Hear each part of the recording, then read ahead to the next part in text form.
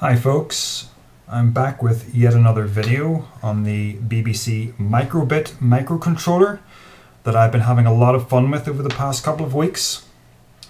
You can see that uh, I've attached some crocodile clips here to the bottom. On the other end of that they are attached to a little NeoPixel array which I purchased for uh, under five pounds. So anyway, I'm going to show you what I what I think is uh, the best game that I've programmed so far, and it's loosely based on Ridley Scott's Alien movie. so you might wonder how can you do Alien on 25 pixels?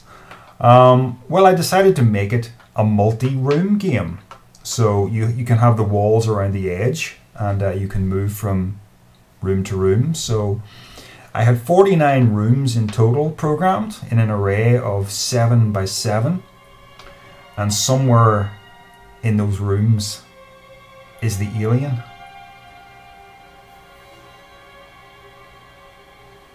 Okay, so here we have Ripley in the center of the screen.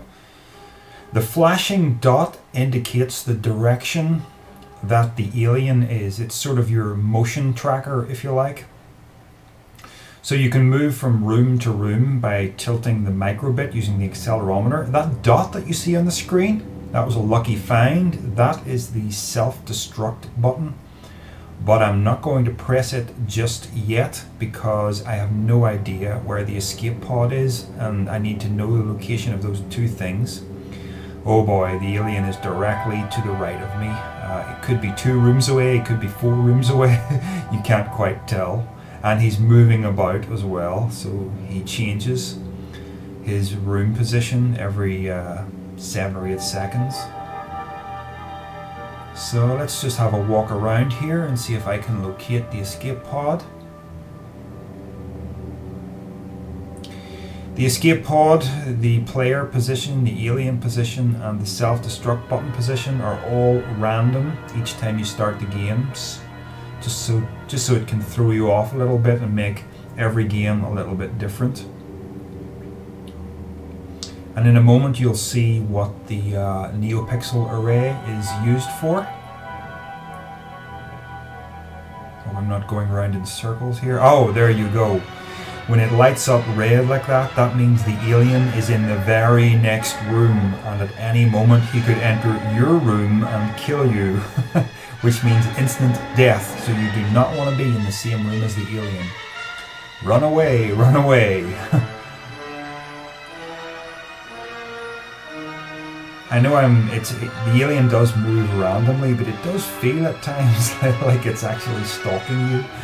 Uh, but as the programmer, I know that's not true. but it's a nice illusion that it gives.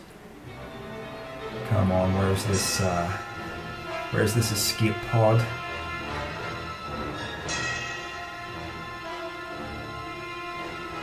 I don't want to go up here, but I think I have to.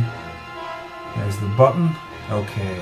Um, let's just press it and go for it. Self-destruct in 60.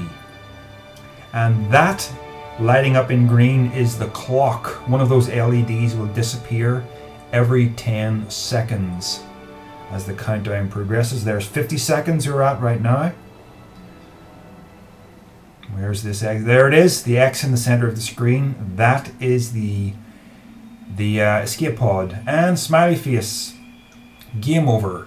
And as you can see, two of the LEDs have disappeared, indicating that I had 40 seconds left on the clock. Here's another game that I was playing. Uh, this is just me narrating over the top of it. This uh, isn't in real time.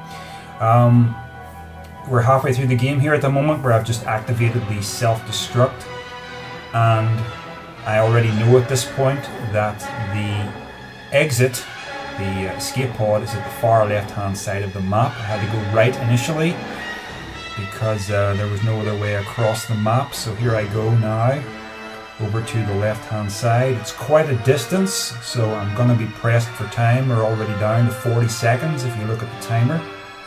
Now what's really interesting here, uh, you'll see it in a moment, is that the alien is exactly in my way.